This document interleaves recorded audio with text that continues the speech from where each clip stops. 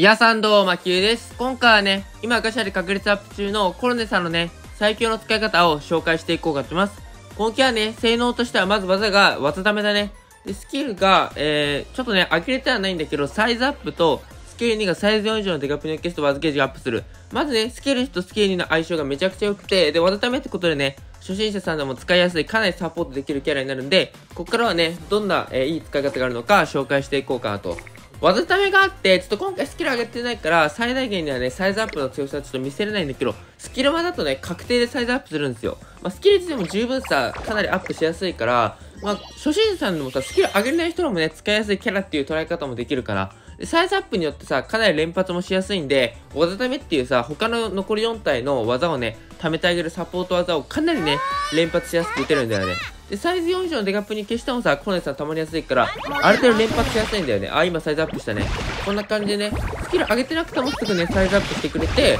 もうね、スキル1にしてもこんだけ溜まってくれて、で、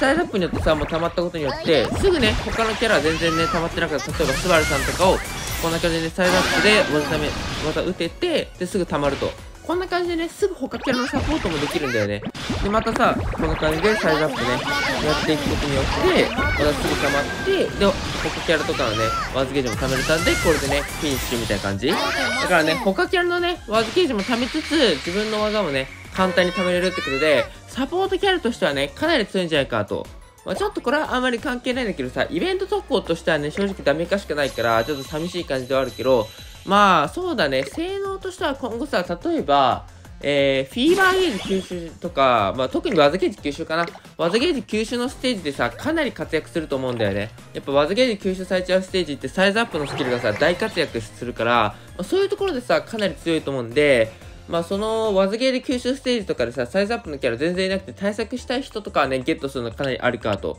技体もさ、かなり相性いいキャラだと思うんで、そういう場面とかね、あと、サポートキャラとしてはね、活躍していけるキャラにはなるんじゃないかと思いますわ。はい、というね、今回は以上になります。良ければ高評価とチャンネル登録よろしくお願いします。ご視聴ありがとうございました。